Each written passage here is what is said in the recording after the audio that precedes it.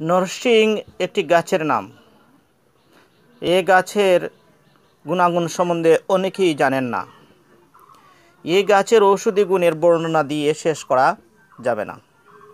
এটি শিশুদের ডায়রিয়া প্রতিষেধক হিসেবে একটি মহৌষধি উদ্ভিদ। শিশুদের ডায়রিয়া হলে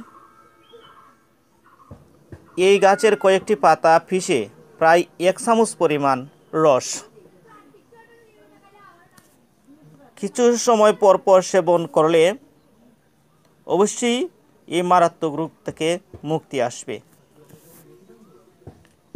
এই ঔষধি গাছটি এখন প্রায় বিলুপ্তির পথে। এছাড়া এই গাছের পাতায় একটি সবজিও বটে। সামান্য তেলে বাজি করে ভাতের সাথে বা এমনি এমনি খাওয়া যায়। খেতে খুবই সুস্বাদু। বড়দের ডায়রিয়া রুগীও এটা বিশেষ উপকারী। দেখুন গাছটি, এই গাছের পাতায় একটি সুগন্ধি গ্রান আছে। এই গাছের পাকা ফল পাখির প্রিয় খাবার।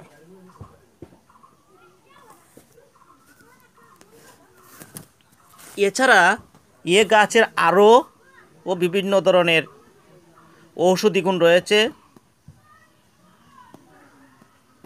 অনেক কবিরাজরা এই গাছের শিকড়, বাড়ির বুথ তাড়াতে ব্যবহার করতেন। এই গাছ যাদের বাড়িতে আছে, ওই বাড়িতে বুথের জিনবুতের কোনো ধরনের